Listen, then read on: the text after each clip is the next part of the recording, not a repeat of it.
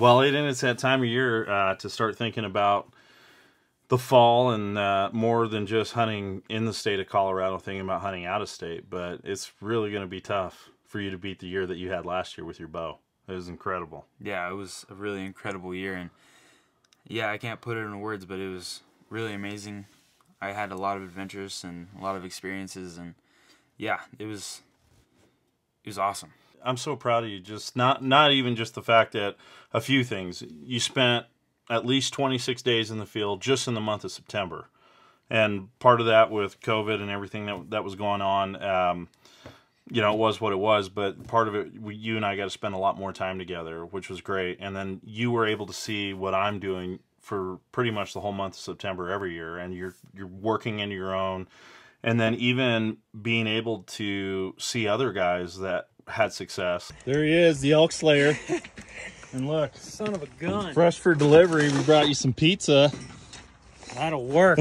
so between you and I, we were able to help out like Clint and John, just helped them pack out an elk, and it was really cool to see that you you didn't care about your hunt so much. It wasn't like the most number one thing to you that you were able to put other guys' needs in front of your own and come out and help them. So to me, that was awesome. Yeah, I mean, like they do the same for us. So I just, in my mind, like why not just do the same for them? Like if I had the opportunity to help someone out, might as well go and do it. You know? Yeah. Well, that's probably not going to happen this year if you shoot a bull out of state. So you're going to rely on yeah. whoever goes with you. But that could be an incredible hunt. So between New Mexico, Wyoming, and uh, Montana, and even Utah, it, it's it's tough because Colorado has so much to offer on the hunting side. But if you draw a tag, I think out of, out of state, it's going to be incredible. It'll be a new experience to see some new country. Yeah, I think so too. Like hunting an animal in just a completely different environment. I think for me will be I'll have a lot of awesome adventures and memories, especially just going out there with you two. Like that means more to me than just hunting an animal. And but like, how was hunting out of state for your first time? I haven't done it a lot, but I'll never forget my Montana elk hunt. That was an archery tag. It was a coveted tag that I drew in the southwestern corner of the state of Montana. And uh, yeah, this was the bull that I took. Let's see. first day in Montana. It's a pretty epic morning. You know, the bull that I ended up passing, I don't pass elk. I'm still kind of shocked that I didn't uh, take a shot at that bull, but he told me this is a pretty special place.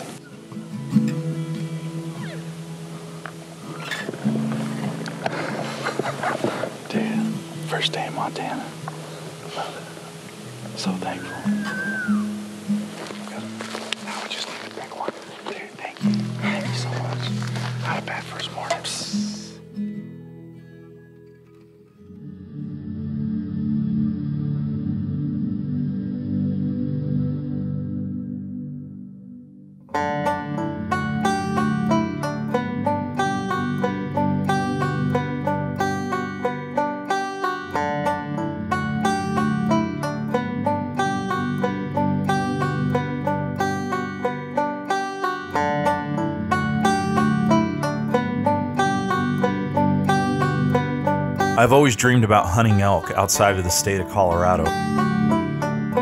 And in 2017, I drew an archery only elk tag in Montana. To get into elk right out of the gates, still trying to learn this area, learn the learn the country, learn you know where where we can't go, and you know trying to learn where the elk are crossing and try to get them a pattern. Like we were, we almost connected right out of the gates this morning. You know how how cool would that have been? First day to be able to connect with it's still early, but I'm thinking that the elk activity is going to kick off later. And anytime it kicks off later, you deal with a lot of things. But I just, I, have never hunted a place like this. I'm so excited. Opening day is one of those things that I think a lot of people just look forward to, regardless what you're hunting. And for me to be in a completely different area and have Mark kind of showing me the lay of the land and where we could hunt and kind of explaining drainages and just getting a game plan for the rest of the week was super exciting. This country's so open. You can, you know, I can, I can see over a thousand yards away, and that's that's kind of how with the group of elk that we saw this morning, you could see probably about 20, 30 head of cows. There was a couple satellite bulls on the side, and Mark had seen a big bull. I saw a big body, but I never got a look in his rack to get this really cool, deep, deep throaty bugle. So with all this country, you just never know which way they're going to come. They could be in the next coulee or draw over, or they could just be up here, and you they could be right down here, and you wouldn't know until they until they sound off. But we got flies everywhere. I don't like flies.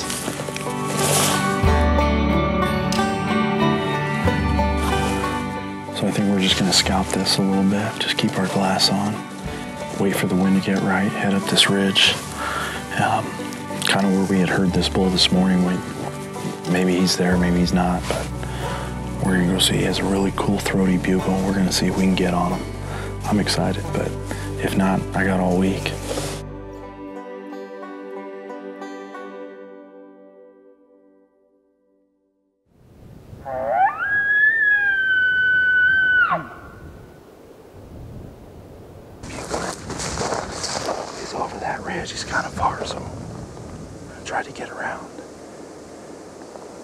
Couple of these drainages get in front of it. The problem is, is the wind is blowing to the to the west.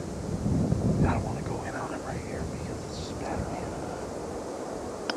We'll see what happens.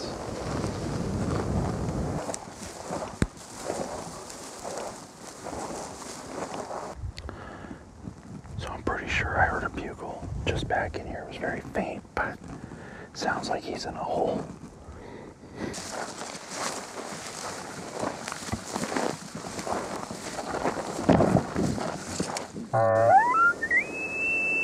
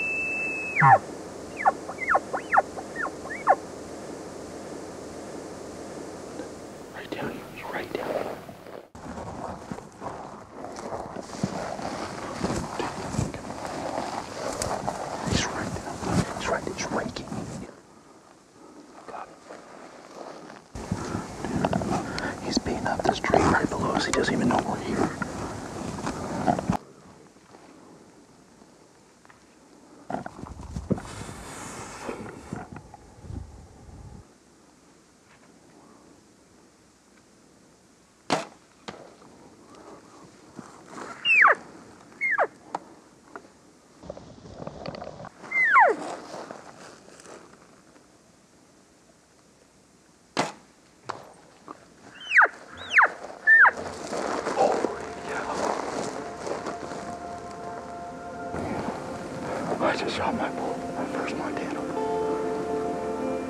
Oh, thank you, God.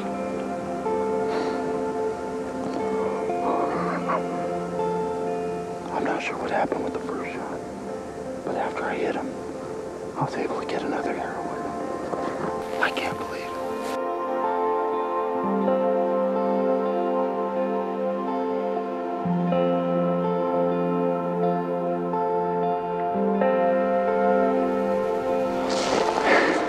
This is the tree that my bull was raking.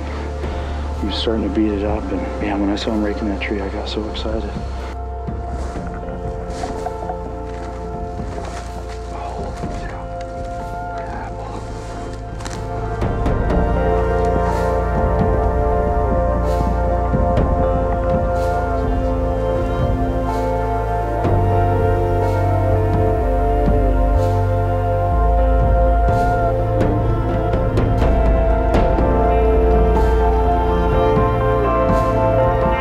Experience I've had hunting has always been a sacred moment and something I don't take lightly. It's an adventure. Regardless of whatever the end result is on my hunts, connecting with God's creation continues to fuel my spirit. This is my out of bounds. What's yours?